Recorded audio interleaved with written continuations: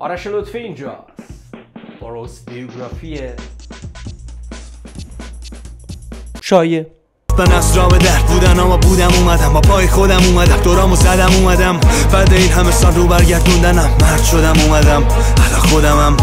با گونی ورقم و چاله. یه گوشه درد و دل یه دهنه گشاده. منم اون پشت به دوربین همم. این جانه همه شایه محمد رضا ملقب به شایه شاید دارید از خودتون می‌پرسید چرا ما فامیلیشو بهتون نمیگیم. چون نمی‌دونیم. خدا شده خیلی گشتم ولی همه جا زده بود که محمد رضا شایع. شما اگه می‌دونید در اون بنویسید. ممنونم. متولد 9 آبان 72 بچه شهر ری. که در 11 سالگی از شهر ری نقل مکان می‌کنم به غرب تهران. شایع عذرخواهی می‌کنم.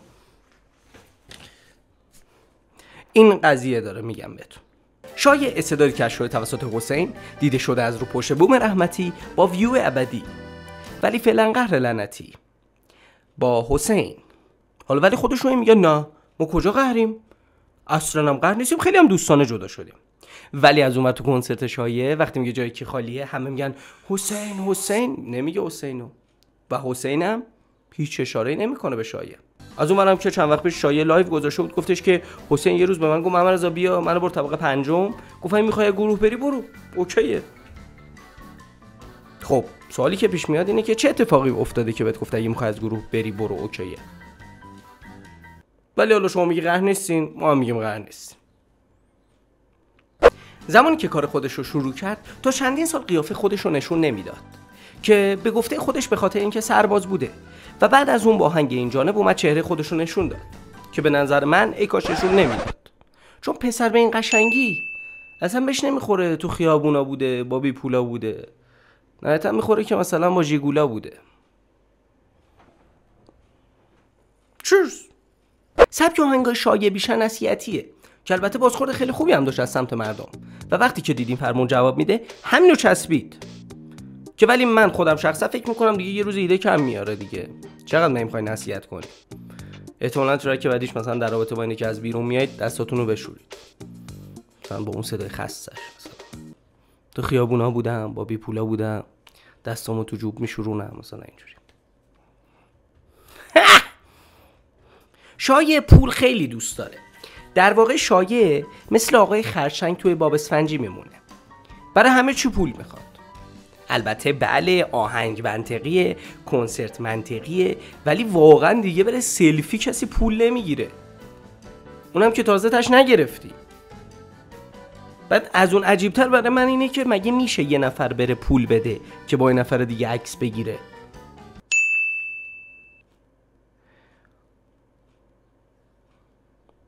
مثل که میشه.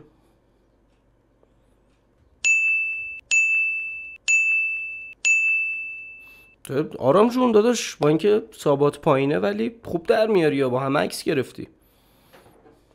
چیز البته یه نظریه که خیلی مطرحه اینی که میگن این پول گرفتن و بابت همه چیز زیر سر آقای جعفریه مدیر برنامه محمد رضا که البته محتملم است از سر قضیه استعدادیابی که الان داستانش رو من براتون کامل توضیح میدم.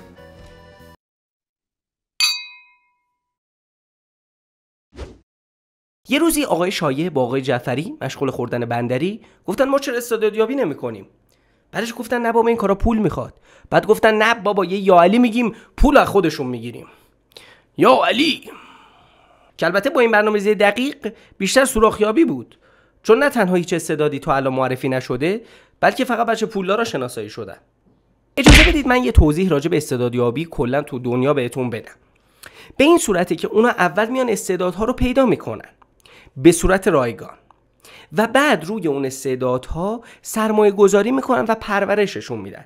به عنوان مثال اگه اون استعداد خواننده است هزینه آهنگسازی کاور آرت آلبوم همه اینا به عهده اون تیم استعدادیابه رایگان. و بعد که اون استعداد به درآمد رسید از درآمد حاصله یه بخش عمدهش رو اونا ور میدارن. حالا اینو به شایه گفتن آقا شروع کرد. من پول از کجا بیارم؟ استدیو خرج داره بیت خرج داره. اصلا شلوار من اونجا آویزونه برو هرچی می‌خوای پول وردار. خب آقا نکن. استعدادیابی نکن. مگه من بهت گفتم؟ آقا مگه چقدر تو جون داری؟ جوونی.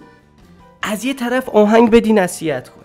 از یه طرف بیای با بت بجنگی. از یه طرف استعداد یابی کنی. ولشون کن این مردمان بی عشق رو. مراقب خودت باش. یادت نره محمد رضا تو تو خیابونا بودی با بی پولا بودی. خودتو با کارت میخاروندی. ول کن. سرت سلامت. یه نکته جالب دیگه ای که این استعداد یا داشت این بود که تو چند تا بخش بود. یعنی مثلا رپر بود بیتساز بود کاور زن بود. و یه سوالی که برای ما پیش میاد اینه که از بین اون همه آدمی که اومدن استعدادیابی بشن برای کاور زن یه نفر در نیومد که چند وقت پیش استوری گذاشتید کاور زن ها text بدن کاور می‌خوایم؟ چون اونام که هزینه ای داده بودن دیگه. ها؟ خب بخش آهنگای شایع رو گفتیم بخش استعدادیابی رو گفتیم. می‌رسیم به بخش مبارزه سرسختانه شایع با سایت های bet. همون جوری که می‌دونید شایع از مخالفین سرسخت سایت bet ه به صورتی که حتی آرتیستایی هم که با سایت های bet کار می‌کنن باهاشون درگیره. و هی استوری میذاش پست میذاش. بابا شما پیشکسوت این کارید. چرا دارید این کارو با مردم می‌کنید؟ اینا کلاهبرداریه اینا دزدیه. به خدا حلال نیست اسپانسر ویدیوی خودش. سایت bet بود. It was at this moment that Nathan knew.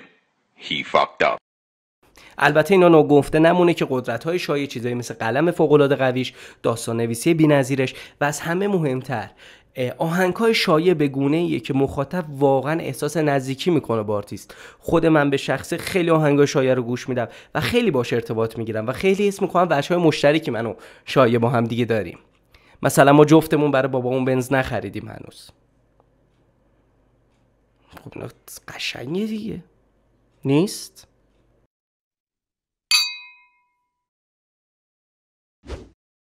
خب بچه این قسمت چهارم رست بی بود و من لازم دوستم سری توضیحات بهتون بدم. بچه این برنامه ما الان تو مرحله آزمون و خطاه. پس ما داریم هر اپیزود با توجه به کامنت هایی که شما می‌ذارید سعی می‌کنیم به سلیقه عموم نزدیکترش کنیم. مثلا رو اپیزودهای قبلی گفته بودید چرا از آرتیست تعریف می‌کنیم؟ مگه roast نیست. خب ما هم گفتیم OK میریم جلو. یا حتی اون کسایی که مثلا می اومدن می‌گفتن درد و چیرز خب ما متوجه میشیم بنده خدا مغزش نمی‌کشه که ادبیات بهتری به کار ببره.